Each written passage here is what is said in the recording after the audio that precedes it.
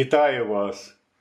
Якось мені довелось почути по телевізору, як покійний вже нині Володимир Жириновський теревенив про те, скільки зусиль довелося покласти висококультурній Росії, щоб залучити до цивілізації дику, безграмотну Україну після її приєднання за Богдана Хмельницького. Щось подібне розповідав перед смертю артист Олег Табаков. Але ж я дивлюся лише уривки з московицьких телешоу у викладі наших ютуб-каналів. Можна лише уявити, що несуть з екрану їхні доморощені історики на численних московицьких телешоу, яких я не бачив. Проте істина абсолютно протилежна. Саме українці вирвали Московію з темряви варварства і створили умови для побудови там основ цивілізації. З самого початку уряд Московії в зв'язку з нестачею Росії освічених людей цілеспрямовано залучав освічених українців у Росію. З іншого боку, українці також охоче їхали не лише в Санкт-Петербург і Москву, але й в інші міста імперії, бо там були створені для них значно кращі умови для успішної кар'єри, ніж на Батьківщині. Не було жодної сфери інтелектуальної діяльності в Російській імперії XVIII століття, де б себе не проявили вихідці з України. Вони були представлені в політичному житті, освіті, науці, літературі, журналістиці, музиці і живопису. Достатньо згадати, що саме поняття Росія замість Московського царства та ідею Російської імперії винайшов і обґрунтував колишній ректор Києво-Могилянської академії Феофан Прокопович. Важко переоцінити зусилля українців на ниві релігійній. Замість неосвічених і диких московських попів українці зайняли більшість церковних кафедр, а сотні освічених українських священників стали парафіяльними священниками на Росії. Але чи дали ці зусилля якісь плоди? Чи стали московити більш цивілізованими? У цьому ролику я розповім про події в Москві, що сталися вже після більше ста років цивілізаційної роботи українців, а саме про московський чумний бунт 1771 року. У ньому яскраво проявилися невігластво, дикість і жорстокість московитів, які вперто відмовлялися приймати основи культури і цивілізації, незважаючи на зусилля українців. Отже, в січні 1770 року в Російській імперії почалася чума, яка дісталася до Москви вже в кінці того ж року. Першим діагностував чуму в Москві 21 грудня 1770 року головний лікар Московського генерального сухопутного госпіталю Апанас Шафонський. Він народився у 1740 році у місті Сосниця на Чернігівщині, отримав домашню освіту, а потім, як багато інших українців, вчився за кордоном. З 1756 року він вчився в університеті в Галлі, де здобув ступінь доктора права. В університеті Лейдена отримав диплом доктора філософії і, нарешті, в Страсбурзькому університеті ступінь доктора медицини. Він вважається одним із засновників епідеміології, і, як ви розумієте, в Росії його представляють як видающийся русський врач. Шафонський разом зі ще двома українцями, лікарями Данилом Самойловичем, також вихідцем з Чернігівщини і Касіяном Ягельським з Києва були включені в комісію для лікування та запобігання чумі, буквально моровій виразці. Обидва високоосвічені спеціалісти. Ягельський також вчився в Лейденському університеті і відточував свою майстерність у Франції і Німеччині. Самойловича в нинішній Росії репрезентують так: русский врач, основатель епідеміології в Російській імперії. Вони розробили досить дієві міри по боротьбі з епідемією, і багато в чому, завдяки саме їх діяльності, хвороба була, врешті-решт, подолана. Міри, які запропонували лікарі, були простими й очевидними, але достатньо дієвими. По-перше, це недопущення подальшого розповсюдження епідемії, для чого створювалися карантинні застави навколо Москви, на яких купці, які везли товари до Москви, піддавалися шеститижневому карантину. По-друге, були розроблені рекомендації, як себе вести під час епідемії. Вони зводилися до необхідності утримувати тіло і будинок в чистоті, часто обливатися водою або обтиратися оцтом. Ну, а якщо в будинку з'являвся хворий, негайно покласти його до лікарні, спалити всі речі, яких він торкався, обкурити кімнату спеціально розробленим засобом і, по можливості, надалі до цієї кімнати кілька тижнів не заходити. Що ж, на мою думку, рекомендації цілком здорові, особливо якщо згадати, що ліків від чуми ще не придумали. По-третє, були розроблені міри, щоб не допустити розростання епідемії в самій Москві. Для цього слід було тих осіб, у яких з'явилися симптоми хвороби, поміщати в карантинні будинки, а тих, хто захворів, поміщати в лікарні. Для цього під час епідемії відкрили 4 нових лікарні і 12 карантинних будинків.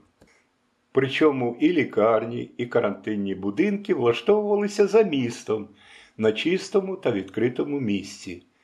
До того ж, карантинні будинки знаходилися неподалік від лікарень для якнайшвидшого транспортування хворих. Однак про карантини та лікарні в народі поширювалися всілякі небелиці, і більшість хворих, уникаючи госпіталізації, намагалися перенести хворобу на ногах. Поміщення підозрілих до карантинних будинків, а хворих до лікарень викликало опір, і для виконання цього завдання довелося застосовувати силу. Хворих приховували, а мертвих спочатку ховали в непризначених для цього місцях, а потім, внаслідок вибухового зростання кількості мерців, просто викидали на вулицю, подалі від свого будинку. Наприкінці серпня почали посилюватися заворушення серед московської черні.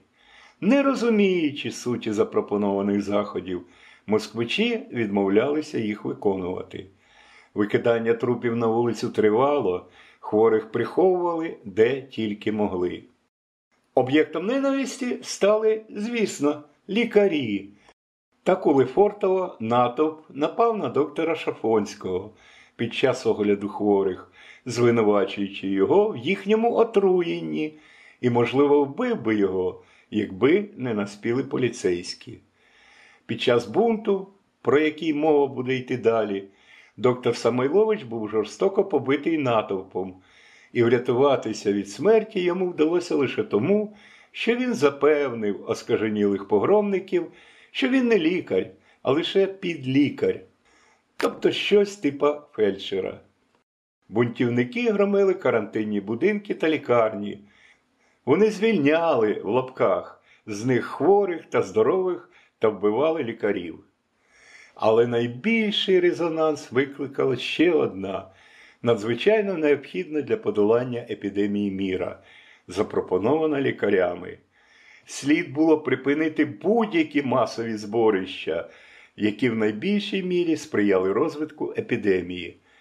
Однак лікарі і влада при здійсненні протиепідемічних заходів зіткнулися з таким варварством з боку жителів Москви, перед якими медицина виявилася безсилою. Приводом для початку бунту стала діяльність єпископа Амвросія Андрія Зертіс Каменського. Він виходить з Ніжина закінчив повний курс Києво-Могилянської академії і в числі багатьох українських освічених священників був запрошений в Росію для наведення елементарного порядку в церковних справах. У 1768 році він був призначений архієпископом Московським. Амвросій, на відміну від переважної більшості московських священників, був людиною освіченою, перекладав з латині, грецької і давньоєврейської мов, був відомим як автор духовної літератури.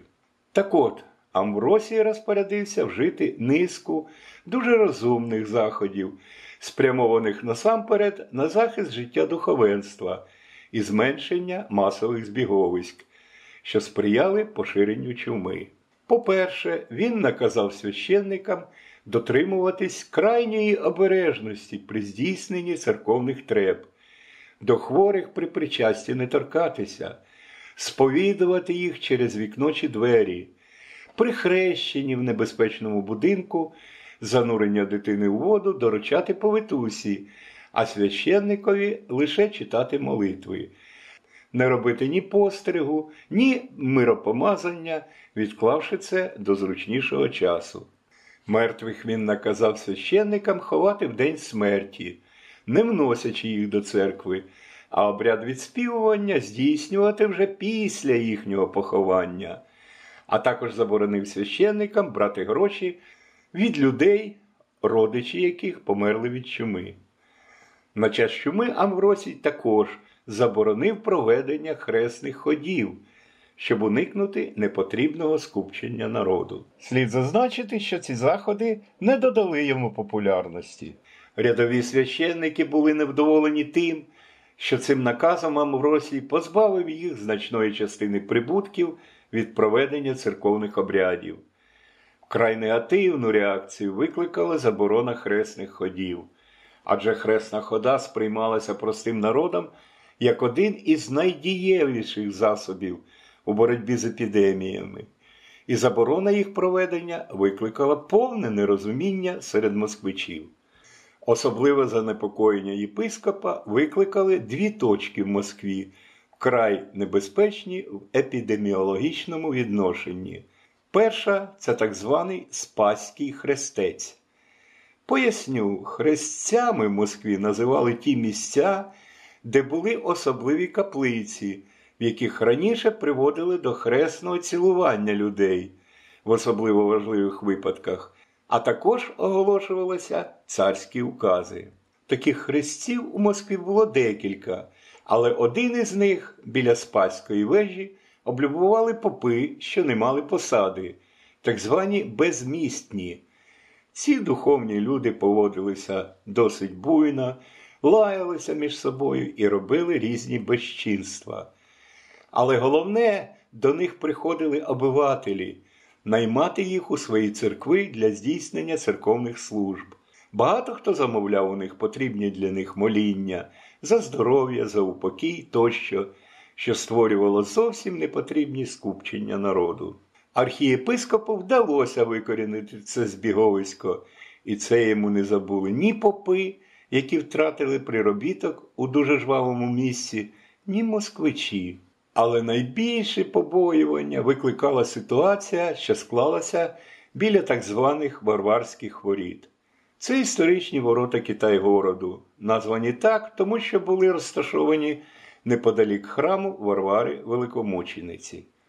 Біля Варварських воріт тоді був поміщений образ Боголюбської Богородиці, перед яким з початку вересня почали щодня збиратися натовпи народу щоб прикластися до ікони. Серед них були не лише здорові, а й хворі на чуму. Ті, хто зібрався, запрошували попів служити молебні, і багато священників кинули свої парафії, поставивши під образом свої аналої, і влаштовували заплату молебні зранку до вечора, що приваблювало нових і нових паломників. Було організовано збирання грошей у спеціальну грошову скриньку на свічку Богородиці. Причому ця скринька була не опечатана, і кількість грошей у ній ніким не контролювалася. Амуросій був обурений цим, за його словами, забабоном і торжищем, і вирішив прибрати ікону в один із храмів. Однак влада категорично не радила йому це робити, і архієпіскоп змушений був скасувати це рішення розпорядившись лише опечатати грошову скриньку і перенести її на більш збережене місце. Однак ні Амвросій, ні цивільна влада не уявляли градусу екзальтованості, до якої дійшов натовп. Якраз напередодні якийсь піп розповів тут народу про те, що одному фабричному з'явилася у вісні Богородиця і розповіла йому, що образу її біля Варварської брами давно вже не надають належної уваги і не ставлять свічок. Христос хотів за це послати кам'яний дощ на Москву, але вона просила його змилуватися над містом і покарати його лише тримісячним мором. Фабричний, розмазуючи п'яні сльози по щоках, теж розповідав натовпу про явлення йому Богородиці і умовляв народ жертвувати на свічку Богоматері. І ось у цей момент влада за вимогою єпископа вирішила ці гроші вилучити. І ось, коли 15 вересня до Варварських воріт прийшла команда солдатів виконати це розпорядження, народ, підігрітий агітацією безмісних попів з криками Богородицю грабують, бийте їх! відігнав солдат. По Москві загулись дзвони, набат зібрав натовпи народу, які кинулись в Кремль і в чудів монастир, грабуючи все поспіль. Під акомпанемент несамовитого лементу Богородицю грабують. Натовп почав громити архієрейський будинок в Кремлі та монастирі. Натовп був абсолютно впевнений, що Амуросій вирішив привласнити собі гроші, зібрані для Богородиці. У перший день Амуросія не знайшли, але заколотники без здобичі не лишилися. У чудову монастирі вони знайшли великі бочки з вином. Почалося повальне пияцтво. Наступного дня Амвросія знайшли в Донському монастирі. Його витягли з хорів, вивели на задній двір монастиря, обсипаючи лайкою і розпитуючи, чи ти послав грабувати Богородицю, чи ти звелів не ховати небіжчиків біля церков, чи ти присудив забирати до карантинів? Амвросій спокійно відповідав на всі питання і намагався привести натовп до тями. Йому це майже вдалося. Натовп почав заспокоюватися. Але в цей час вийшов з шинку дворовий чоловік Васька Андрієв. Підбігши до архієрея, він крикнув Чого ви на нього чаклуна дивитеся? і вдарив його колом по обличчю. Лютя панувала натовпом. Амвросія били близько двох годин і розійшлися лише після того, як на місці залишився лежати спотворений труп. Тіло архієпископа два дні пролежало за стінами монастиря. Залякані ченці не наважувалися підходити до нього.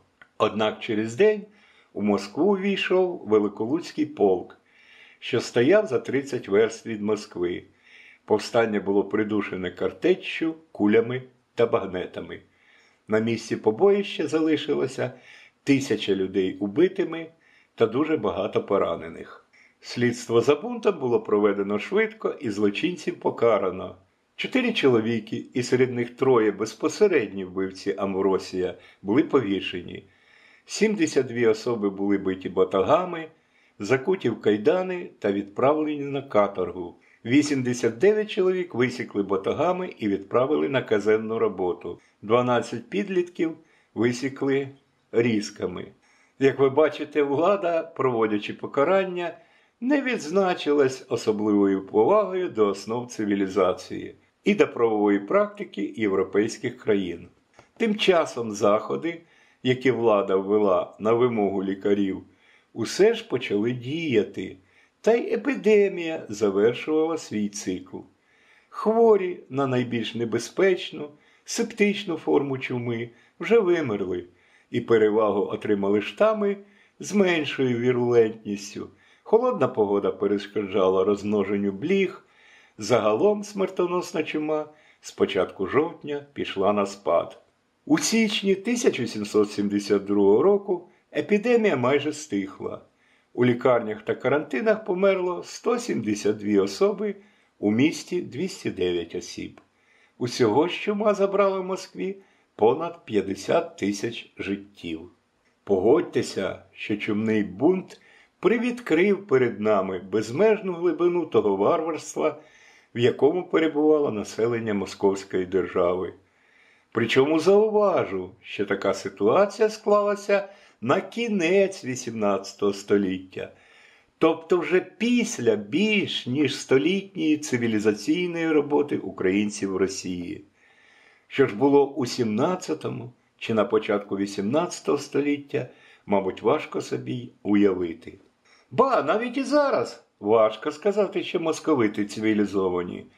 Згадайте їхню постійну пиятику, їхню поведінку у містах відпочинку, а також те, що витворяє та банда мародерів, насильників і вбивць, яких вони називають російською армією.